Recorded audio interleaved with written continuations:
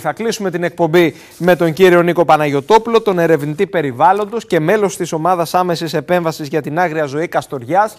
Έχει τοποθετηθεί αρκετές φορές εδώ στην εκπομπή. Μας έχει κάνει την τιμή δηλαδή. Ε, Μας έχει καθοδηγήσει, έχει εξηγήσει κάποια θέματα τα οποία προκύπτουν και έχουν να κάνουν με το φυσικό περιβάλλον και πώς αντιλαμβανόμαστε αυτή τη σχέση με το ζωικό κεφάλαιο. Τι έγινε τώρα στην Καστοριά, βρέθηκε μία αρκούδα με δύο νεογέννητα ε, αρκουδάκια. Δεν ξέρω αν ο όρος είναι σωστός. Την καλησπέρα μας, κύριε Παναγιοτόπουλε, πώς είστε; Καλησπέρα, καλησπέρα στην Κρήτη.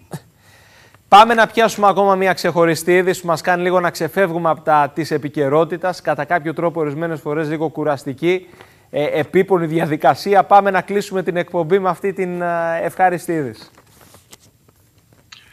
Ναι, όπως είπατε και εσείς, τουλάχιστον τα δύο τρίτα της, ε, ε, της επιχείρησης έχουν κλείσει ευχάριστα.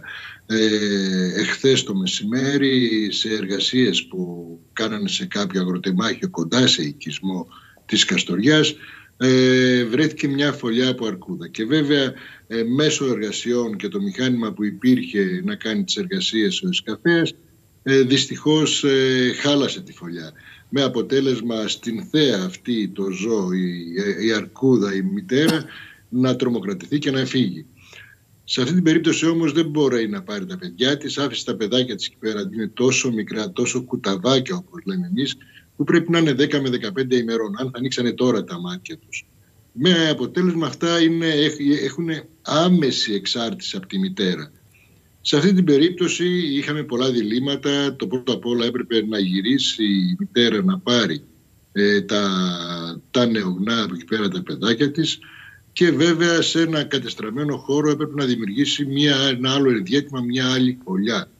Έτσι λοιπόν ε, προβληματιστήκαμε πάρα πολύ είτε να αφαιρέσουμε τα μικρά να τα πάμε στο κέντρο περίθαλψης κάτω στούρο ή να τα κρατήσουμε, να τα βρει μητέρα. Έπρεπε να γίνουν πολλά πράγματα σε πολύ λίγο χρονικό διάστημα. Γιατί οφειλόταν βέβαια και η ζωή των μικρών.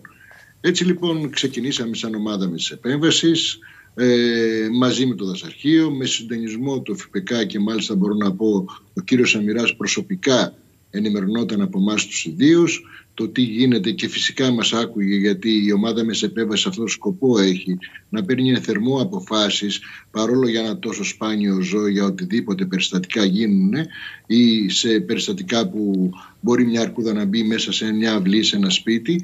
Ε, αυτός είναι ο σκοπός της ομάδας επέμβαση και γι' αυτό η ομάδα επέμβαση έχει άτομα που είναι έμπειρα και με γνώσεις αλλά και με εμπειρία.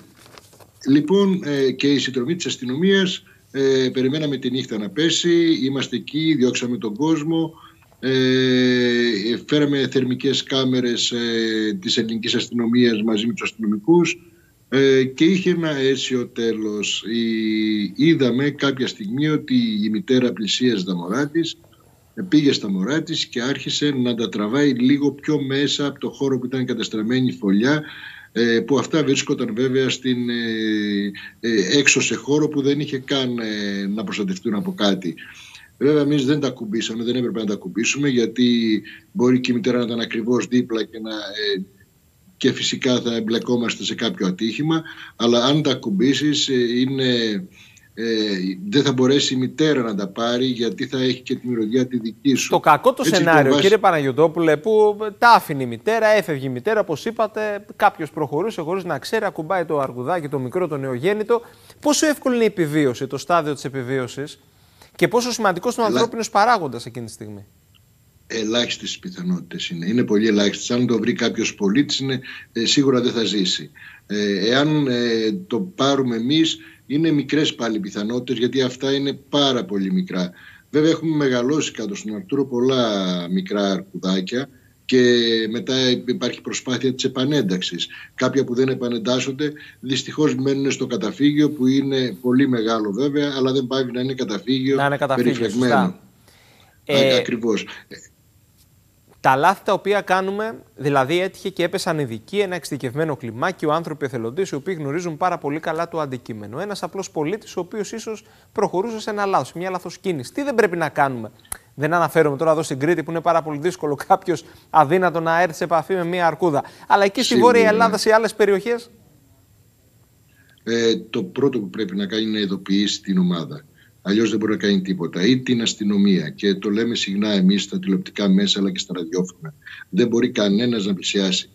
Πρώτα απ' όλα η, δική του ακαιρεότητα ε, είναι, θα είναι σε πολύ μεγάλο κίνδυνο. Η αρκούδα έχοντας τα μικρά, το πιο σίγουρο είναι να σου επιτεθεί και αν σου επιτεθεί μια αρκούδα είναι πολύ δύσκολο μετά να ξεφύγεις από την αρκούδα αλλά και να ζήσεις με πολύ μεγάλα τραύματα. Έτσι λοιπόν για τη δική μας ασφάλεια και ακυρεότητα δεν πλησιάζουμε ποτέ ένα τέτοιο ζώο.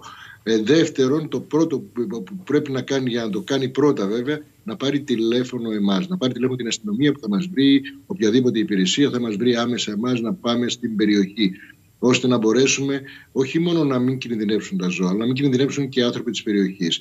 Ξέρω ότι η Αρκούδα κάνει φωλιές κοντά σε οικισμούς για τους λόγους ότι όταν γεννάει και είναι τόσο μικρά τα παιδιά της, τα μωρά της, ε, πολλά αρσενικά περιπλανόμενα τα σκοτώνουν ώστε να ζευγαρώσουν πάλι με τη μητέρα.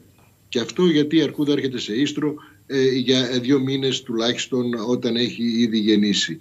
Έτσι λοιπόν, ε, αποφεύγοντας να βρει στο δρόμο της αρσενικά, κάνει κοντά σε οικισμούς πολλές φορές φωλιές, σε αγροτικούς οικισμούς. Έτσι γνωρίζουν ο κόσμος εδώ πέρα πάνω ότι αλλά δεν είναι επιθετική, κάθεται με τα μωρά της, δεν φεύγει από τη φωλιά της. Αρκούδα, αν τα μωρά της δεν πάνε δύο με τριών μηνών, να είναι σίγουροι ότι δεν κινδυνεύουν από ανθρώπους. Δεν θέλει καμία αρκούδα να εμπλακεί με κανέναν άνθρωπο, αλλά οπωσδήποτε να γνωρίζουμε και γνωρίζουμε όλοι εδώ πέρα τουλάχιστον καλά ότι αν εμπλακεί η, η, η πλάστικα γέρνει προς εμάς όχι προς την αρκούδα. Μάλιστα. Πηγαίνει προς εμά για το κίνδυνο. Μάλιστα. Λοιπόν, κύριε Παναγιώτοπουλο. Α ελπίσουμε τώρα. Ναι, ολοκληρώστε. Από εδώ και πέρα. Α, θα ελπίσουμε από εδώ και πέρα ότι θα πάει καλά η κατάσταση γιατί θα μείνει ένα μήνα εκεί πέρα τουλάχιστον ώστε να μπορέσει να φύγει σιγά σιγά με τα παιδιά της. Αυτό θέλουμε εμείς τώρα. Τους χαιρετισμούς μας, σας ευχαριστούμε θερμά και με το καλό να τα ξαναπούμε στην επόμενη ευκαιρία.